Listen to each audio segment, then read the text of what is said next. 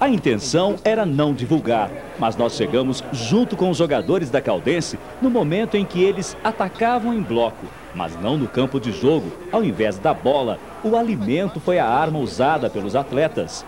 Eles fizeram uma ação entre amigos e, com a ajuda da diretoria, compraram cinco cestas básicas que foram doadas para a AVOC, a Associação do Voluntariado contra o Câncer. Existem pessoas nessa cidade e nós fomos é, contactados junto com o pessoal da AVOC, é, visto que eles estão passando por momentos de necessidade e existem pessoas que ainda podem ajudar e de junto com os jogadores e a diretoria da Caldense houve a sensibilidade e a gente possa, não só nós jogadores, mas como toda a população de Poços possa ajudar a AVOC nesse momento difícil. Acho que para nós é uma satisfação ajudar e tenho certeza que esperamos que é, o pouco que nós ajudamos é, possa é, melhorar a vida deles e, e o que eles puderem e o que eles quiserem a gente puder ajudar, a gente vai ajudar sempre.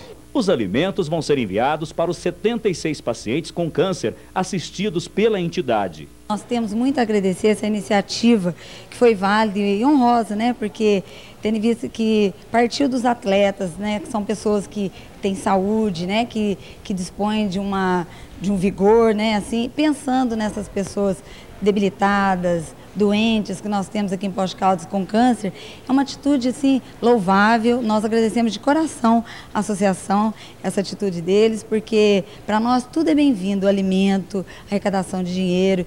A doação foi uma vitória fora de campo. Mas agora os jogadores querem mesmo é continuar na liderança do campeonato e, se possível, com um bom resultado contra o Uberlândia, no jogo do próximo domingo em Alfenas. Acho que é mais tranquila, né? Nós passamos uma semana de tranquilidade, escutamos aquilo que o professor Walter nos pediu.